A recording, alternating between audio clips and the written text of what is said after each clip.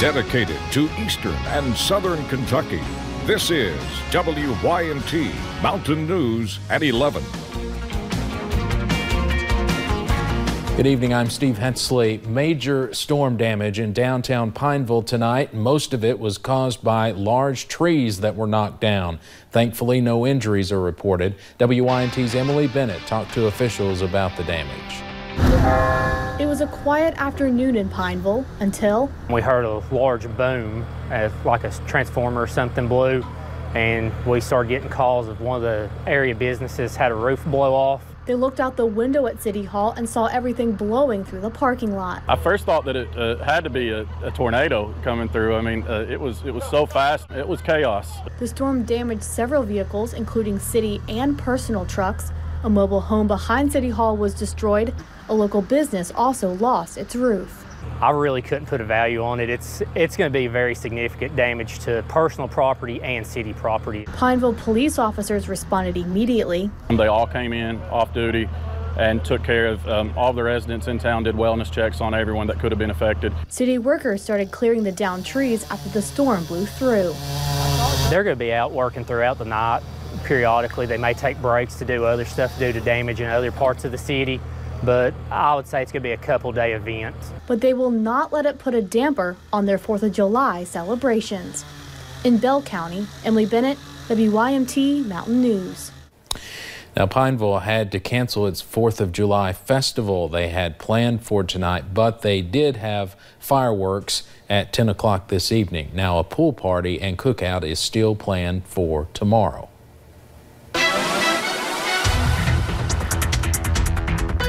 Really, all of us got in on a few of those pop-up showers and storms throughout the day. They were, of course, strong at times. We even got reports of some damage over into parts of Morgan County. But as you look at satellite and radar, they don't look that scary on satellite and radar. There are just a few pop-ups here and there. Like I said, they were just strong at times, but then they would die down actually pretty quickly. So as we look at radar now, we're kind of seeing those starting to die down. You'll notice heavier rain as you're looking just north of Breathitt County, even into parts of Morgan County, a little bit into Rowan County, Wolfe County as well.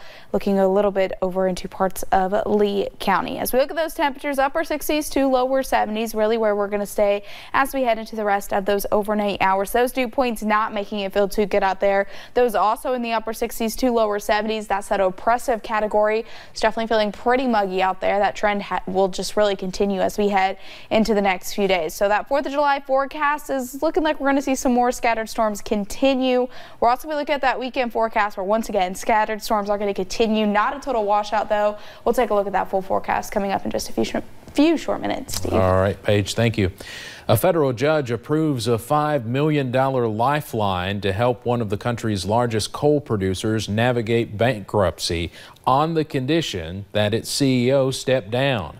Court documents say the financing will go toward providing security and personnel to extinguish fires at Black Jewel LLC's mines as it determines its next steps. The agreement requires CEO Jeff Hoops to resign. Meanwhile, those working in the Harlan County mines owned by Black Jewel have had all the money from their last check disappear.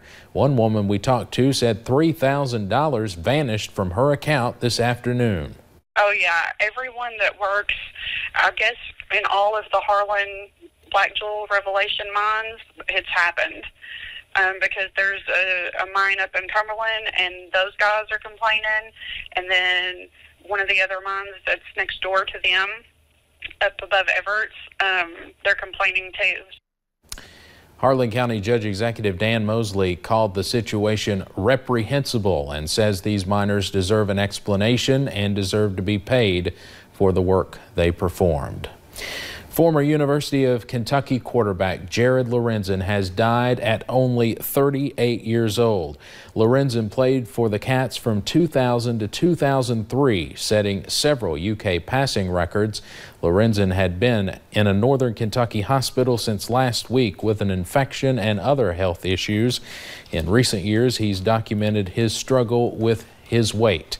Matthew Rand looks at how people are remembering Jared Lorenzen and the Big Blue Nation in mourning as big number 22 is gone way, way too soon. Big Blue Insider host Dick Gabriel sharing the studio with former Wildcat Cameron Mills, sharing memories of Jared Lorenzen. He was gregarious. He, uh, he went out and sought the fans and sought the people, and not in a I need to be the center of the limelight kind of way, but in a I want to go make somebody's day. The hefty lefty, the Pillsbury throw boy, all the titles that were put on him with love by Kentucky fans and adopted by people across the country, really. The two took calls from the likes of Tom Leach, the voice of the Wildcats, who said there were people early on who questioned whether Lorenzen should even be UK's quarterback. And Coach Brooks came in, I think it took about one one play in that first game in 2003 for him to realize – okay, I don't care what kind of shape he's in. This guy makes plays. Plays that former Cat Derek Abney was often on the receiving end of. But Jared had a unique arm. Um, there wasn't a lot of people that could throw as hard as Jared could and, and find those little, like you said, slivers, Dick, and, and he made it happen. And, and he could float some deep ones, yep. too. Famous for his weight, Lorenzen had been making strides to shed pounds, which Mills believes he had decided to do for his family. I, I remember running into him at a, one of his kids' basketball games and watching him. He wasn't the coach, but of course he coached from the sidelines, watching him coach his son. And that, more than anything, I think, is what eventually got him to the point where I want to be around for my kids. I think what hurts today is that he was fighting this, and to my knowledge, a fight that he was slowly winning and just ran out of time. He had and lost think, 100 pounds. And that's what yeah. sucks. Yeah. And that was Matthew Rand reporting. Now, Marcus Browning will have more on the life and legacy of Jared Lorenzen later in sports.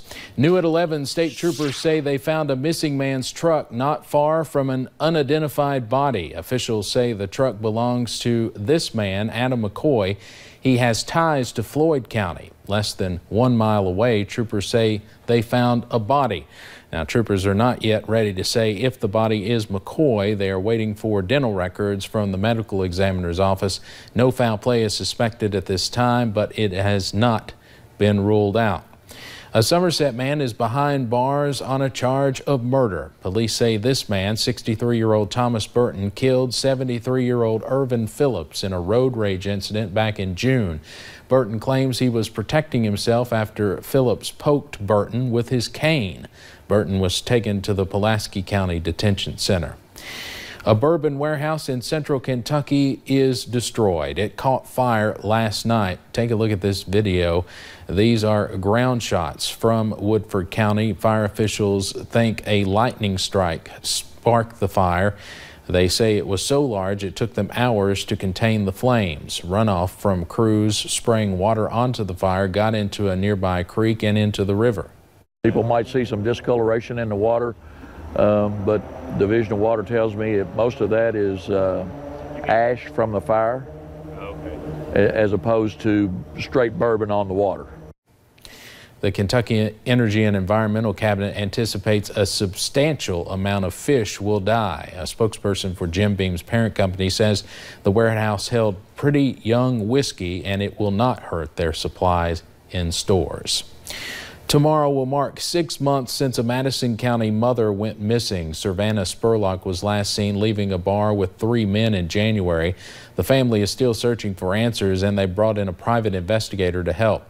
That investigator told us earlier this week he plans to knock on doors and comb social media looking for clues. There is a reward for information in the case.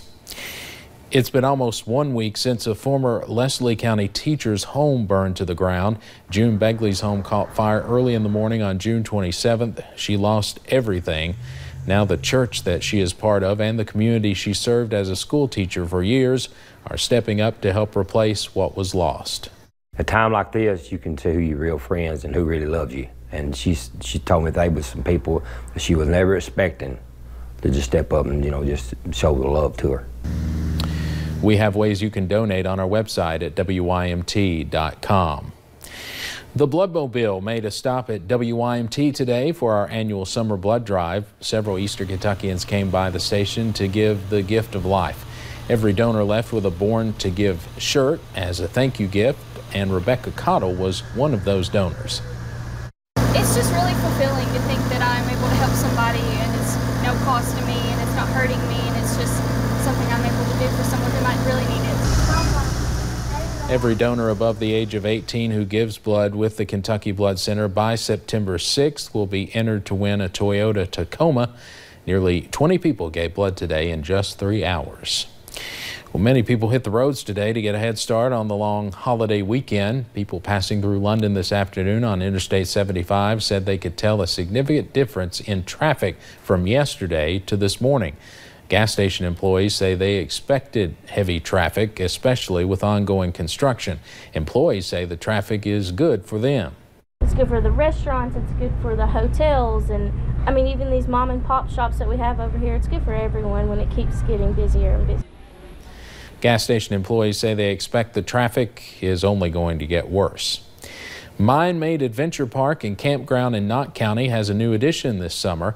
You can now explore more than 150 miles of ATV trails. The judge executive wanted to add more to the park this summer, and now the first Thunder Through the Mountain ATV ride will run through Sunday. Events include guided rides, mud, dirt, and water events, and a poker run. There's a, uh, there are a lot of ATV riders in this area. A lot of people actually come in from Ohio, Indiana, out of the state. Uh, we have the biggest trail system in the state 150 miles, 43,000 acres, so a lot of riding to be done here. The trails reach from Virginia to Tennessee. They will have a 4th of July celebration with local music and fireworks. They hope, they hope to build a campground to accommodate those who travel out of state. Coming up at 11, the Navy SEAL found not guilty for the murder of a POW learns his sentence for lesser charges. But first, could you only eat raw meat? A Kentucky man is making international headlines because of his unusual diet. And scattered showers and storms continue for the 4th of July. I'll have a look at that full forecast coming up.